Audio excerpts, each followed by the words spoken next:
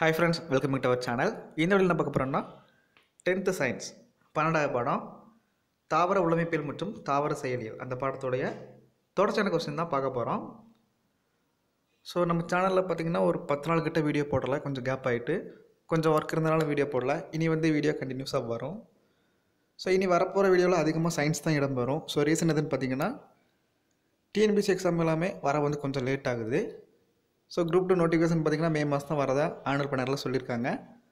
ஆனால் அதுக்கு முன்னாடி டிஎன் ஸ்கூல் லேப் அசிஸ்டன்ட் அந்த எக்ஸாம் வந்து வரும் அப்படின்னு நிறைய பேர் சொல்லிட்டு இருக்காங்க ஸோ அதனால் அந்த டிஎன் ஸ்கூல் லேப் அசிஸ்டன்ட் அந்த எக்ஸாமுக்கு வந்து முக்கியமான ஏரியா பார்த்திங்கன்னா சயின்ஸ் தான். அதனால தான் அதை ஃபோக்கஸ் பண்ணி சயின்ஸ் வீடியோ வந்து நிறைய போடலான்னு இருக்கேன். ஸோ நம்ம சேனலுக்கு வந்து நிறைய சப்போர்ட் பண்ணுங்கள் உங்கள் ஃப்ரெண்ட்ஸ்க்கு ஷேர் பண்ணுங்கள் வீடியோஸை ஸோ சேனல் வந்து நிறைய பேருக்கு தெரியணும். ஸோ கொஞ்சம் ஷேர் பண்ணி விடுங்க ஸோ தொடர்ச்சியான கொஸ்டின் பதினோராவது கொஸ்டின் பார்க்கலாம். காஸ்பேரியன் பட்டைகள் வேரின் எந்த பகுதியில் காணப்படுகிறதுன்னு கேட்டிருக்காங்க. ஸோ காஸ்பேரியன் பட்டைகள் வேரின் எந்த பகுதியில் காணப்படுகின்றன? ஆன்சர் பார்த்தீங்கன்னா தேர்ட் ஆப்ஷன் அகத்தோல். ஸோ காஸ்பெரியன் பட்டைகள் வந்து தாவரத்தில் வேரில் மட்டும்தான் காணப்படும். ஸோ தாவரத்துடைய வேரில் மட்டும்தான் காஸ்பெரியன் பட்டைகள் வந்து காணப்படும். இதுவே உங்களுக்கு கொஸ்டினை வந்து பேசிக்காக கேட்குறதா இருந்தால் எப்படி கேட்பாங்க? காஸ்பேரியன் பட்டைகள் தாவரத்தின் எந்த பகுதியில் காணப்படுகிறது? அப்படி கூட கொஸ்டின் கேட்க வாய்ப்பு இருக்குது ஸோ வேர் அதை வந்து கரெக்டாக பார்த்துக்கோங்க. அப்போ காஸ்பரேன் பட்டைகள் தாவரத்துடைய வேரில் தான் காணப்படுது. வேரில் எந்த பகுதின்னு பார்த்தீங்கன்னா அகத்தோலில் தான் காணப்படுது. ஸோ அகத்தோல் வந்து என்னது? புறணியின் கடைசி அடுக்கு தான் அகத்தோல். அது வந்து ஏற்கனவே வீட்டில் சொல்லியிருப்பேன். அதுவும் லைட்டாக பார்த்துக்கோங்க. அப்போ காஸ்பரேன் பட்டைகள்னால் தாவரத்துடைய வேரில் காணப்படுது. வேரில் எங்கன்னு பார்த்தீங்கன்னா புறணியின் கடைசி அடுக்கான அகத்தோலில் காணப்படுது. அப்புறம் பன்னெண்டாவது கொஸ்டின் வெளிநோக்கிய சைலத்திற்கு எடுத்துக்காட்டு. ஸோ வெளிநோக்கிய சைலம்னா எக்ஸார்க்குன்னு சொல்லுவாங்க. அதற்கு எக்ஸாம்பிள் வந்து கேட்டிருக்காங்க. ஸோ இதுக்கு ஆன்சர் பார்த்திங்கன்னா வேர் தான் வரும். First option so xylem. சைலம்னு வந்து ரெண்டு டைப் இருக்குது உள்நோக்கிய சைலம் வெளிநோக்கிய சைலம்னு ரெண்டாக இருக்குது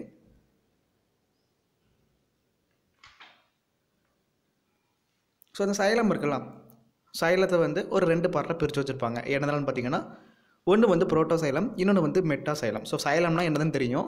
சைலம்னா என்னது? தாவரங்களில் நீர் மற்றும் கனிமங்களை கடத்தக்கூடியது தான் சைலம். இது வந்து ஒரு திசு தான் அந்த சைலத்துலேயும் ரெண்டா ரெண்டு பார்ட் இருக்குது ஒன்று புரோட்டோசைலம் இன்னொன்று பார்த்தீங்கன்னா மெட்டாசைலம். இதில் என்ன சொல்கிறாங்கன்னா இந்த புரோட்டோசைலம் இருக்கலாம் புரோட்டோசைலம் வந்து மையத்தை நோக்கியும் மெட்டாசைலம் வெளிப்புறத்தை நோக்கியும் இருந்துச்சுன்னா அந்த சைலத்துடைய வகையை வந்து என் டார்க் உள்நோக்கிய சைலம்னு சொல்கிறாங்க ஸோ உள்நோக்கிய சைலம்னா எக்ஸாம்பிள் பார்த்திங்கன்னா தண்டு. இதுவே நமக்கு கொஸ்டினில் கேட்டிருக்காங்களா? வெளிநோக்கிய சைலம். வெளிநோக்கிய சைலம்னா எக்ஸார்க்னு சொல்லுவாங்க. அதில் எப்படி இருக்கும்னா புரோட்டாசைலம் வந்து வெளிப்புறத்தை நோக்கியும் மெட்டாசைலம் மையத்தை நோக்கியும் காணப்படும். எக்ஸாம்பிள் வந்து வேர். ஸோ கொஸ்டின் வந்து டீப்பாலாம் கேட்க மாட்டாங்க. வெளிநோக்கிய சைலத்திற்கு எடுத்துக்காட்டு கேட்பாங்க. என்னது? வேர். இதுவே வெளிநோக்கிய சைலம்னா இரண்டு கேட்பாங்க. அது எக்ஸார்க்கு அதுவே உள்நோக்கிய சைலம்னா எண்டார்க்குன்னு சொல்லுவாங்க. அதுக்கு எக்ஸாம்பிள் பார்த்தீங்கன்னா தண்டு. ஸோ இப்படி தான் கொஸ்டின் இருக்கும். ஸோ வேர் வந்து வெளியே நோக்கி தெரிஞ்சிட்ருக்கு அப்படின்னு வச்சுக்கோங்க வேர் வந்து செடியில் மண்ணுக்கு அடியில் இல்லாமல் வெளி நோக்கி தெரிஞ்சிட்ருக்கு அப்படின்னு வச்சுக்கோங்க ஸோ வெளி நோக்கினா வேர். அப்புறம் பதிமூணாவது கொஸ்டின் தாவரங்களின் தண்டு மற்றும் இலைகளின் வெளிப்புற சுவரில் காணப்படும் மெழுகு போன்ற படலத்தின் பெயர் என்னன்னு கேட்டிருக்காங்க. ஸோ இது வந்து ரொம்பவே முக்கியமான கொஸ்டின் இதுக்கு வந்து ஆன்சர் சொல்லியிருந்தேன் ஆன்சர் வந்து செகண்ட் ஆப்ஷன் கியூட்டிக்கிள் ரொம்பவே முக்கியமான கொஸ்டின் இப்போ தாவரங்கள் எடுத்துக்கிட்டிங்கன்னா தாவரத்துடைய தண்டு மற்றும் இலை. தாவரத்துடைய தண்டு மற்றும் இலையுடைய வெளிப்புற சுவரில் ஒரு மெழுகு போன்ற படலம் வந்து காணப்படும். அதுக்கு தான் கியூட்டிக்கிள்னு சொல்கிறாங்க ஸோ இந்த கியூட்டிக்கள்லாம் என்னதுன்னு பார்த்தீங்கன்னா தாவரத்துடைய தண்டு மற்றும் இலைகளுடைய வெளிப்புற சுவரில் காணப்படும் மெழுகு போன்ற படலம். இதுதான் கியூட்டிக்கிள் பார்க்க வந்து மெழுகு மாதிரி இருக்கும். கொஞ்சம் நல்லா பாலிஷாக இருக்கும். இந்த கியூட்டிக்கல் படலம் இருக்கிறதுனால நீராவி போக்கு இருக்கலாம். அது வந்து தடுக்கப்படுகிறது. ஸோ தாவரங்களுடைய தண்டுலையும் இலையிலையும் கியூட்டிக்கல் படலம் காணப்படுது. இது வந்து மெழுகு மாதிரி இருக்குதா? மெழுகு மாதிரி இருக்குது அதனால் தாவரங்களில் இருந்து நடக்கக்கூடிய நீரவை போக்கு வந்து கொஞ்சம் தடுக்கப்படுகிறது. அதனால் தாவரங்களில் வந்து நீர் இழப்பு வந்து தடை செய்யப்படுகிறது. ஸோ முக்கியமான கொஸ்டின் பார்த்துக்கோங்க.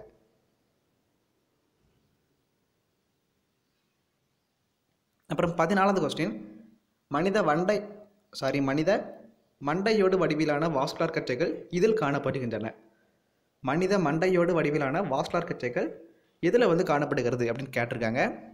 ஸோ ஆன்சர் பார்த்தீங்கன்னா ஒரு வித்திலை தாவர தண்டு. ஃபோர்த் ஆப்ஷன் தான் சரியான விடை. ஸோ வாஸ்குலார் கற்றைகள் இருக்குல்ல அது பார்த்தீங்கன்னா மனித மண்டையோட வடிவத்தில் காணப்படுகிறது. அது எங்கன்னு பார்த்தீங்கன்னா ஒரு வித்திலை தாவர தண்டு. அப்போ ஒரு வித்திலை தாவர தண்டு அதில் பார்த்தீங்கன்னா வாஸ்குலார் கற்றைகள் மனித மண்டையோட வடிவில் காணப்படுகிறது. ஸோ ஃபோர்த் ஆப்ஷன் தான் சரியான விடை.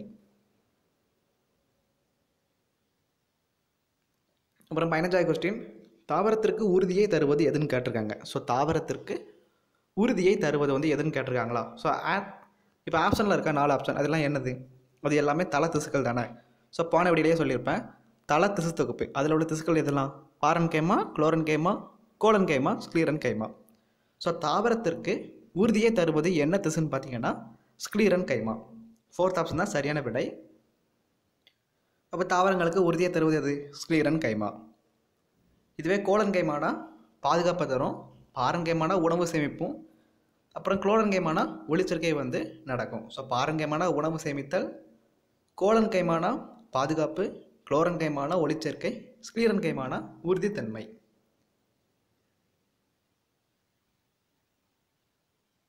அப்புறம் பதினாறாவது கொஸ்டின் குளோராப்ளாஸ்ட் என்பது என்னதுன்னு கேட்டிருக்காங்க. ஸோ குளோராப்ளாஸ்ட் என்பது என்னதுன்னு கேட்டிருக்காங்களா?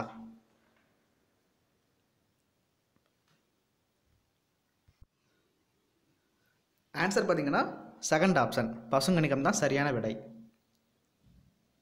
ஸோ இந்த வண்ணக்கணிகம் பசுங்கணிகம் வெளிர்கணிகம் இது எல்லாமே கணிகங்களுடைய மூணு வகைகள் தான். ஸோ கணிகங்களுடைய மூணு வகைகள் தான் இந்த வண்ணக்கணிகம் பசுங்கணிகம் வெளிர்கணிகம் இந்த மூணும். ஸோ கணிகங்கள் வந்து என்ன நடக்கும்? கணிகங்கள் இருக்கலாம். தாவரங்கள். அதுக்கப்புறம் வந்து இந்த தானே உணவு தயாரிக்கும்லாம் ஆல்காக்கள் அப்புறம் பச்சையம் உள்ள பாக்டீரியாக்கள்.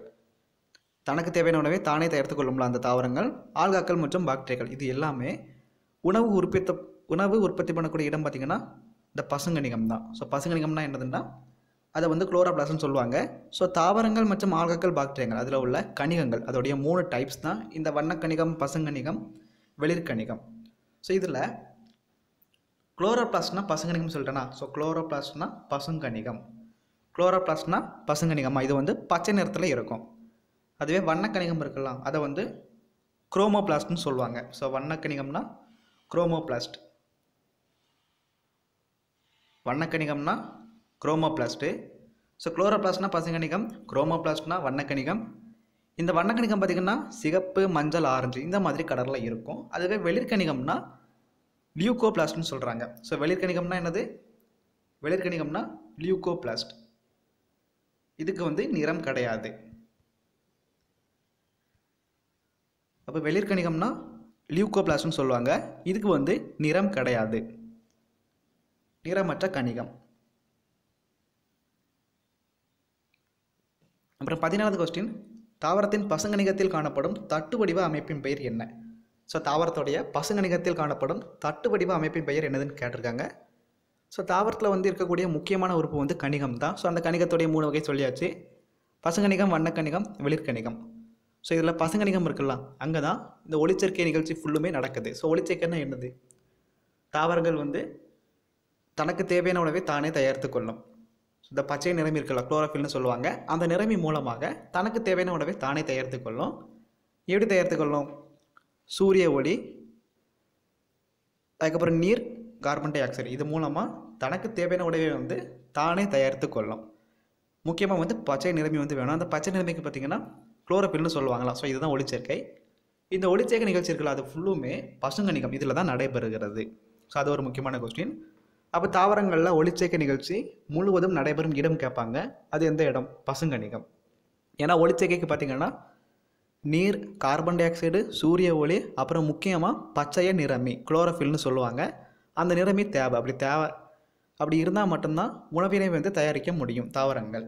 ஸோ தாவரத்தில் பசுங்கணிகம் இருக்கலாம். அதில் காணப்படக்கூடிய தட்டுப்படிவு அமைப்பின் பெயர் என்னதுன்னு பார்த்தீங்கன்னா தைலக்காய்டுன்னு சொல்லுவாங்க.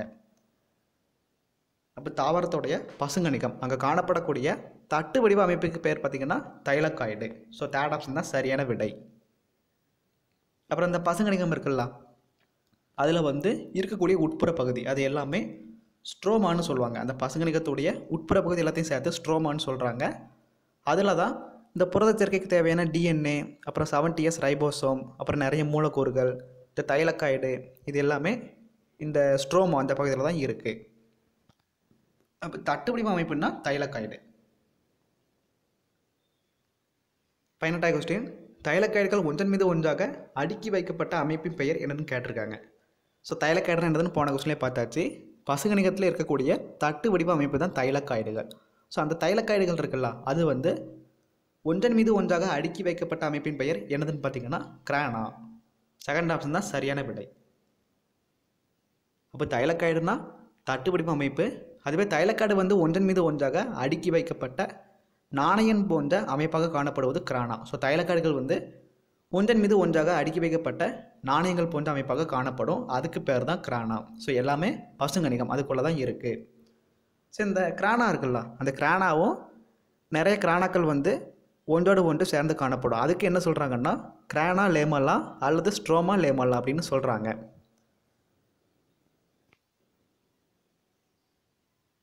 ஸோ எல்லாமே பசுங்கணிகத்தில் தான் இருக்குது அப்போ ஒளிச்சேர்க்கை நடக்கக்கூடிய ந- இடம் பார்த்திங்கன்னா பசுங்கணிகம் தான்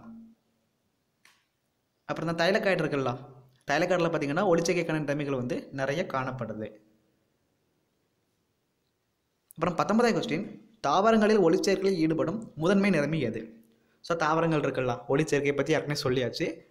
அந்த ஒளிச்சேர்க்கையில் ஈடுபடும் நிலைமைகளை வந்து ஒளிச்சேர்க்கை நிலைமைகள்னு சொல்லுவாங்க. ஸோ அதில் வந்து நமக்கு பேசிக்காக என்ன தெரிஞ்சிருக்கும்?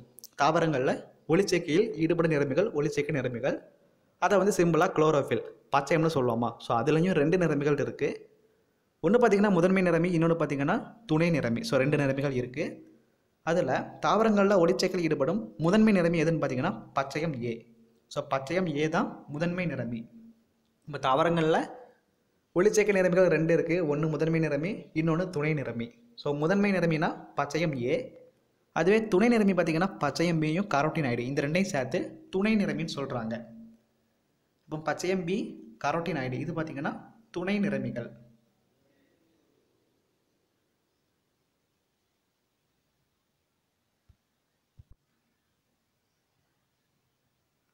அப்புறம் இருபதாவது கொஸ்டின் தாவரங்களில் ஒளி சார்ந்த வினை டேஸில் நடைபெறுகிறது. ஸோ தாவரங்களில் ஒளிச்சேர்க்கை வந்து நடக்குதா? ஸோ ஒளிச்சேர்க்கை வந்து மொத்தம் ரெண்டு டைப்பாக நடக்கும்.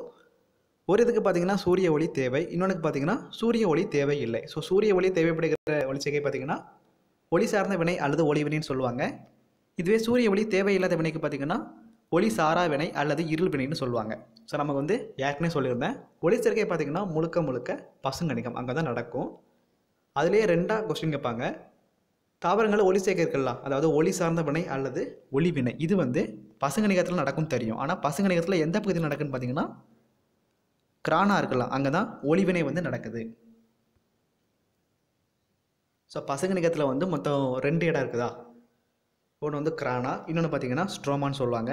அதில் ஒளி சார்ந்த வினை வந்து கிரானால நடக்குது. அதுவே இருள் வினை வந்து ஸ்ட்ரோமால நடக்குது.